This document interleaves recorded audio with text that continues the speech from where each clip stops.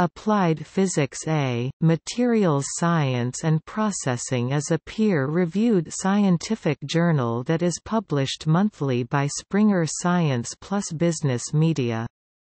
The editor-in-chief is Michael Stuke Max Planck Institute for Biophysical Chemistry. This publication is complemented by Applied Physics B Lasers and Optics.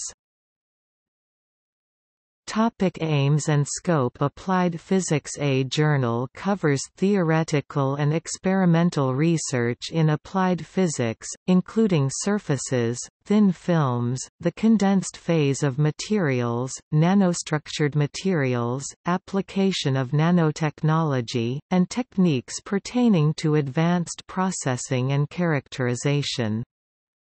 Coverage also includes characterizing materials, evaluating materials, optical and electronic materials, production engineering, process engineering, interfaces surfaces and thin films, corrosion, and finally coatings. Publishing formats include articles pertaining to original research, reviews, and rapid communications.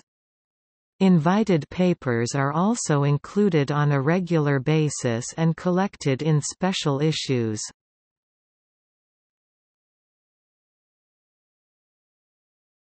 Topic: Abstracting and indexing.